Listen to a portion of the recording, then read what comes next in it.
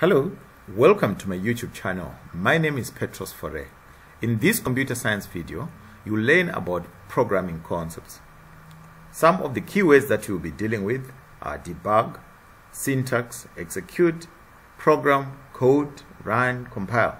Your vocabulary will be enriched with a lot of these programming terms as we go on developing your skills. It is important for us to understand what a program is as a starting point. In computing terms, a program is a set of instructions written in a computer language. So these instructions are in a logical sequence. They are in order. They are performed one after the other. It's important to note that computers work just like human beings. Computers are programmed to execute or to perform a specific task. It's important to know that programming obviously is the process of creating programs or writing instructions. So there are several languages which are there, which can be used for programming. Just like we have so many languages which we speak, we have English, we have Espanol, algunas personas hablan español, some people speak Spanish, just like I was saying. So we speak different languages, but our main issue is we get down to understand and we perform actions based on the words that we hear programming languages are different languages which are used with their vocabulary, which is the grammatical rules in computing terms. So these syntaxes are then written in a specific order, telling the computer what to do. Remember, the computer will not be able to do anything if the user does not instruct it. That's why programmers are so much in demand today because of creating software that will perform different tasks. Before we go any further, I would want you to know that a program is actually a set of instruction and also can be referred to as a code. And a program is at the same time software. So when you are talking about software, you talk about pro a program, you talk about a code, it's one and the same thing.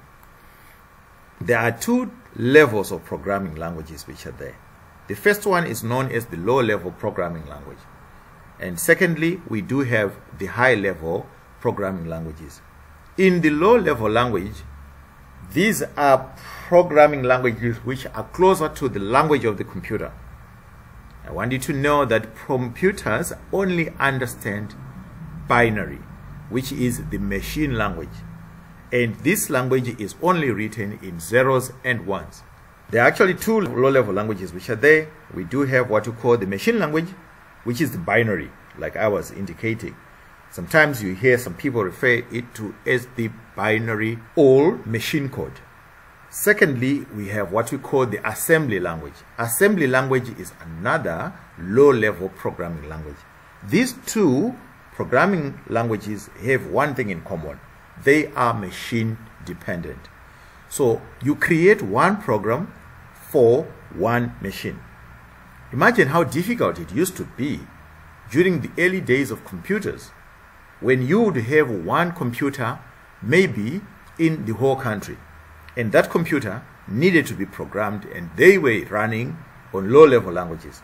So it was specific programs for that unique computer and the program would not be able to be copied to another computer. Life must have been very difficult. So the machine code is written in zeros and ones, but the problem is it's so easy to make mistakes when you are programming in the machine code. Reading it would be so difficult. You need to be an expert. And some of these programs are written in hexadecimal format one thing about the machine code, which is the machine language, programs which are written, because this is the only language the computers understand, it means they do not need to be translated. These programs are extremely fast.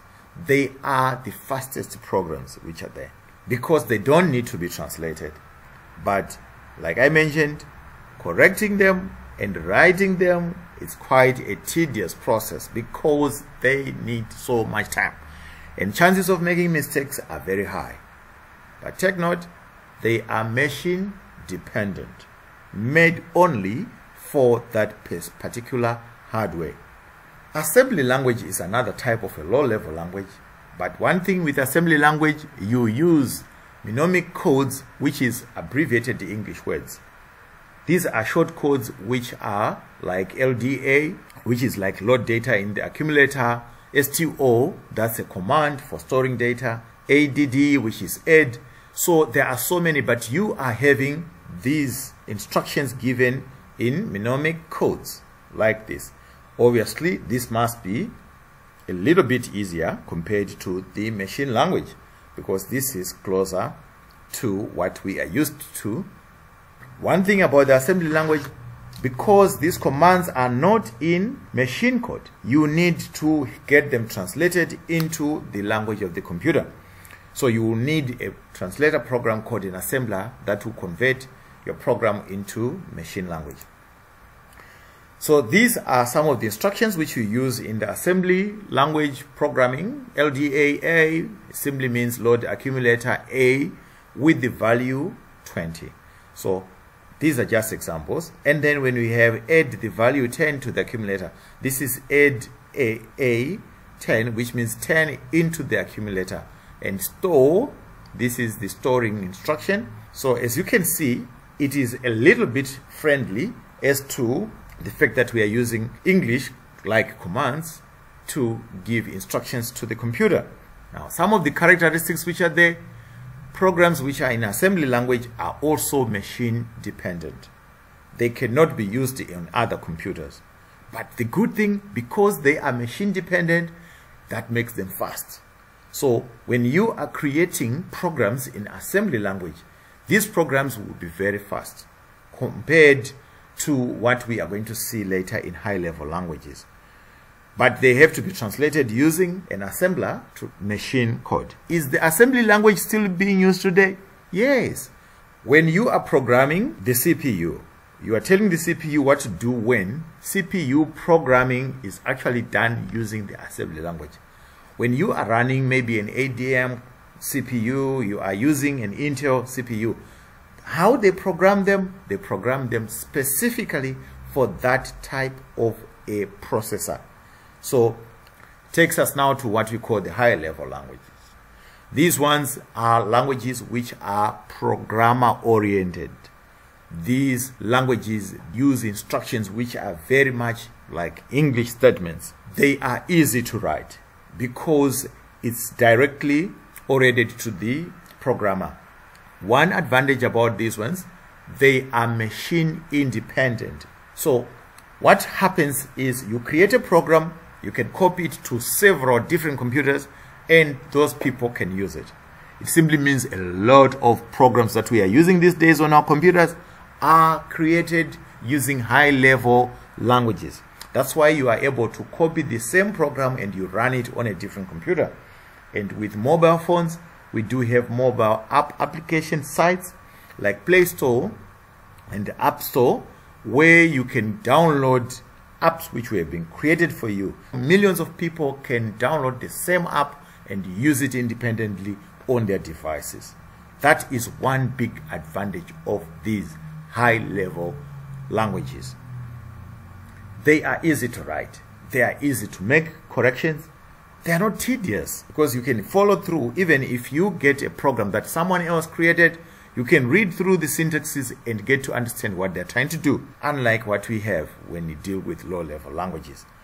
But because these programs are in English instructions they need to be converted into machine code or machine language because computers do not understand English. Computers only understand the binary language which is zeros and ones. So they need to be converted into machine language. And this is done using some two translator programs. One of them is called the compiler and the other one is called an interpreter. The compiler obviously translates the whole program at a go. All of it converting it into machine code from source code to object code, which means you now have a new program that is now in low level machine language. This interpreter, it converts instruction at a time. Programmers will use the interpreter more when they are creating programs. So you are going to see that the interpreter is going to be the tool that you are going to use a lot when you are creating programs because it translates instruction at a time. It makes it easy to correct mistakes. With the compiler, it won't give you that chance.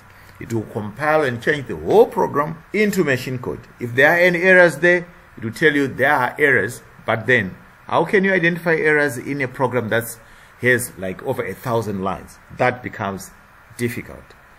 So the interpreter becomes handy. But when you finish correcting your work and everything is perfect, you use a compiler because you just want it now to be converted and take that program into object code, which is what distributors will be distributing. Because when you are selling your programs or software, you don't sell the original programs because it could be copied and people will go and modify and create their own programs. The high level programs are easy to debug. By the way, debugging is the process of removing or correcting mistakes from a program. They enable programmers to be creative. What are the examples of high level languages?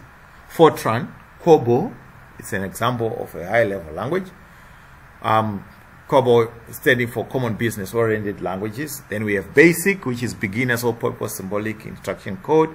We also have Pascal, okay, C++, Python, Java, and some of these ones, they are highly used these days. You will be, you know, learning a lot of these languages. For example, Python, Java, a lot of universities and institutions out there are using these languages in their computer science programs. Programming is an important concept that we have to learn.